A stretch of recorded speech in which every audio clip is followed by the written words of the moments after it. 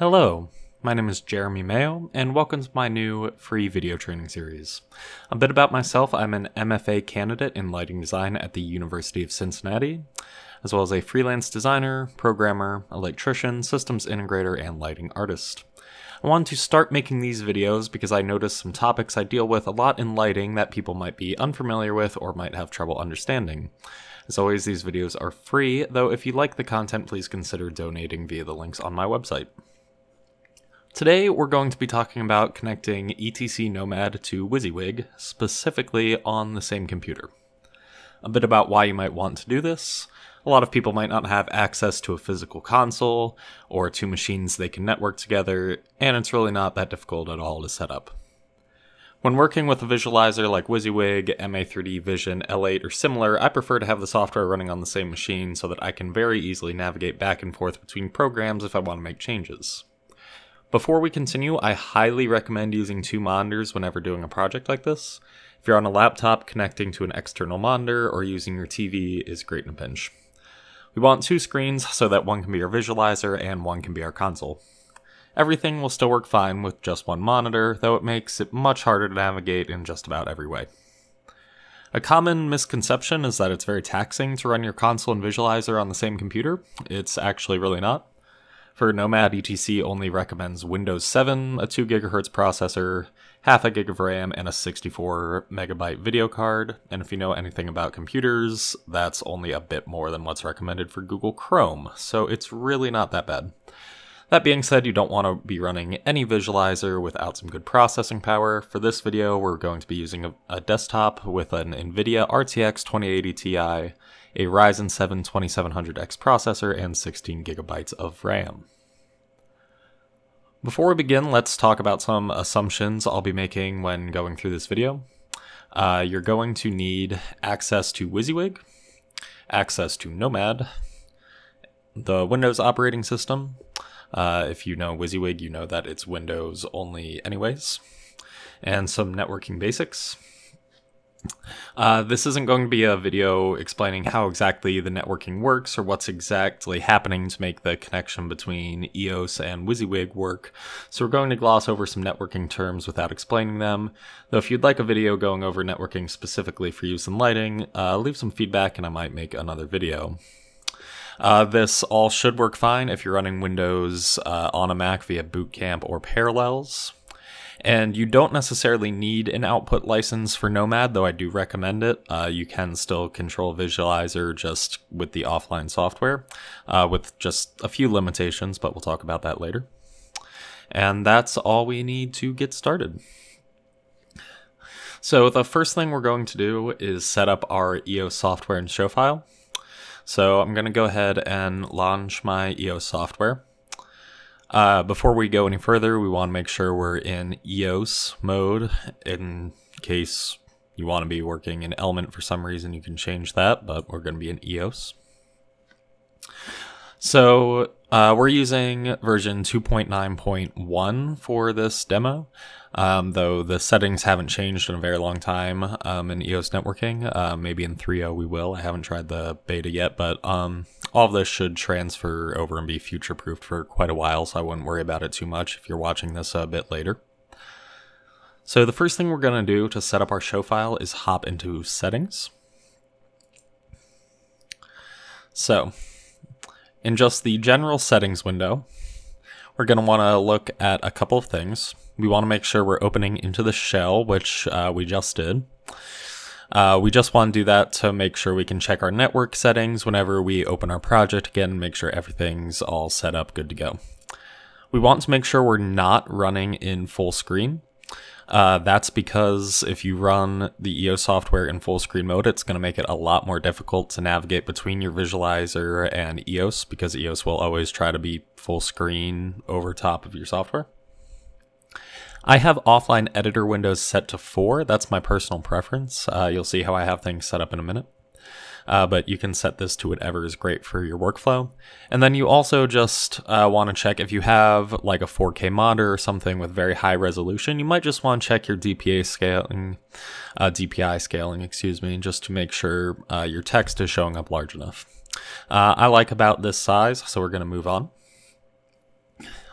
So next, you're going to want to hop into network settings. So first we want to make sure our console is online. You can see here status online, that's what we want. If you don't see this as green or online, it means that EOS is not connecting to any network interface. And we're not going to get into troubleshooting that in this video, though um, you'll need to remedy that before going further. So we shouldn't need to change any settings here. We just want to take note of what's happening. So we want to take a look at our IP address and remember what this number is. So a bit about what's going on here.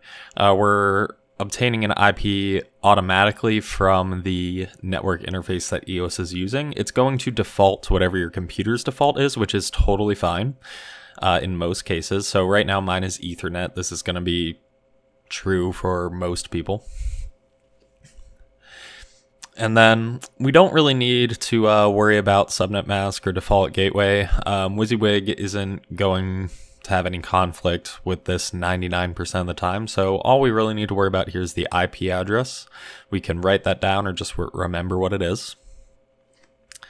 Then moving down, we want to look at output protocols. So here we have a couple of options. What we're going to be using is SACN. So we want to make sure that SACN is turned on for the network interface that we're using, which on my machine is Ethernet. And that default is checked. That's just going to say that by default, EOS is using SACN. You can have multiple things checked uh, for default. These streams can run in parallel, SACN, ArtNet, all this stuff, uh, but it won't actually output unless these boxes are checked. Now these should be your default options, but you want to make sure your priority is 100 and your start address is 1. Very important. And then we can leave all the rest of the settings in here. Uh, you don't want DHCP service enabled uh, just because you don't need any additional IP configuration. Just a static IP is all you need. Or well, I guess that is dynamic, obtaining automatically, but yeah. So we're going to go ahead and accept these options. And then from there, we're good to just go ahead and set up our show file. So we're going to boot into primary. If you don't have an output license, this is going to say offline with Viz, and that's totally fine.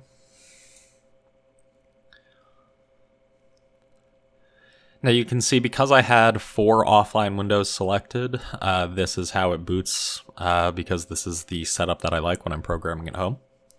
So if you boot into a show file you already have, you're just going to want to start a new show file. Uh, unless you're using a show file that you already have to connect to WYSIWYG, but for this example, we'll just create a new one.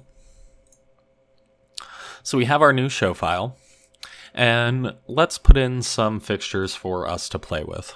So over in patch, I'm going to give us just two Vari-Lite 4000 spots as channels 1 and 2. So I'll put those in there real quick. And we're going to go with the 16-bit enhanced profile for these. Great. And now I'm just going to patch these for our example at address 1 slash 1 sequentially. So you can see now we have two VL 4000 spots patched at 1 slash 1 and 1 slash 58 and we are now good to go with a file. So we're going to leave this open. Uh, we can save it real quick. I'll go ahead and put in my archive as wig example. And then we just want to leave this open. You can leave it um, running on your second monitor, wherever you want to put it, but we're going to leave uh, EOS open. We're not going to close it is we need a constant stream of SACN happening on our computer. So now with our file all set up, we're going to go ahead and open WYSIWYG. Now we're using release 42 educational version, um, though that shouldn't affect anything about the process, uh, whichever version you're on. Uh, if you're on an older version or a newer version, Cast has not changed the connection settings in quite a long time, so I imagine this will be relevant for quite a while. And I know this uh, process is the same as far back as release 33 or 34 or so, possibly longer. So I'm just going to create a new file.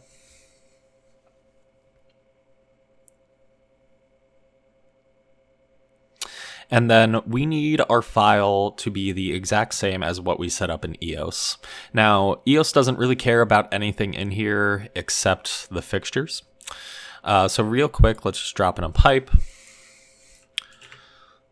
10 feet long, 20 foot trim, that's totally fine.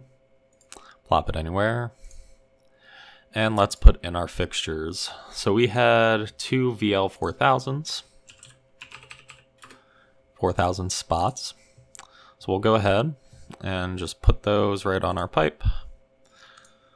Don't care about the fixture notes. One and two. There we go. Now for this example to see what's going on, we're also just going to drop in a riser real quick and a person to look at.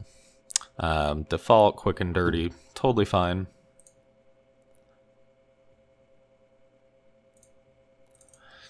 and I'll just go ahead and drop in a quick person to look at real quick.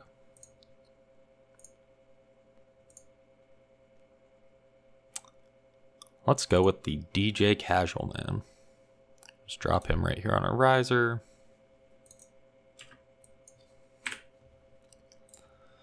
Make sure he's actually standing on the riser.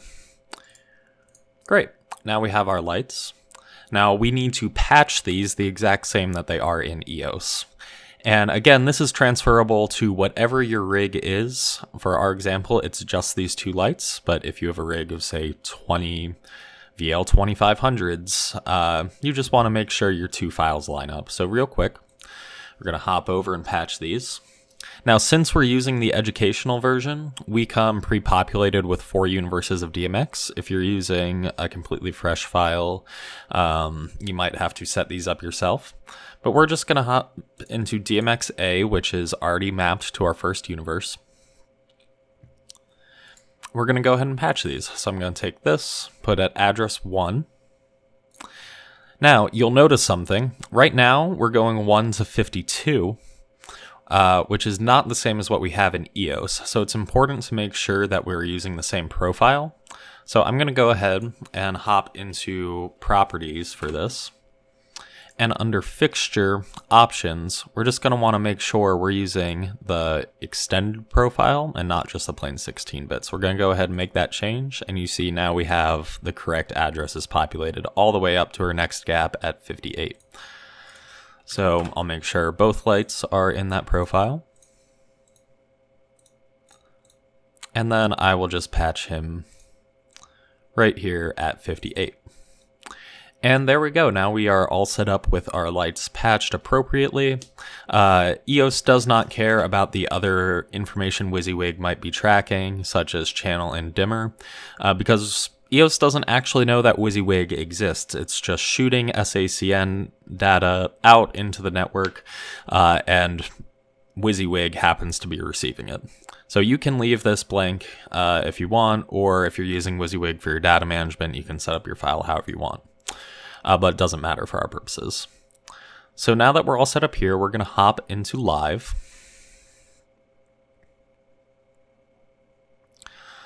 Give ourselves a nice view where we can see what's happening. Got our DJ man on the platform. It's all good. So now you're going to want to set up WYSIWYG to receive SACN. So the first thing we need to do is hop into options, application options, and go to additional interfaces. And all we care about in here is the SACN interface and we want the local address to be the same IP address that we uh, took note of on EOS earlier. So I have a couple options populated already, uh, loopback adapter, things that MA might use, and we have an option for our the same IP that EOS is using. So we're going to select that and hit OK. And then we need to add an SACN device to WYSIWYG. You can see right here we have no connected devices, so we're going to add an SACN device. We're going to go to Managers, Device Manager, then we're going to hit New. Now, SACN is a network device, so we're just going to go under Networks. Again, that's under Networks. We're going to go to All, SACN, and you can just go ahead and insert that. We need to set this up real quick. We're going to go to properties and you can see we have all sorts of outputs and right now they're not mapped to any universes. So real quick, we're going to populate these with our 4DMX universes that are available in the educational edition.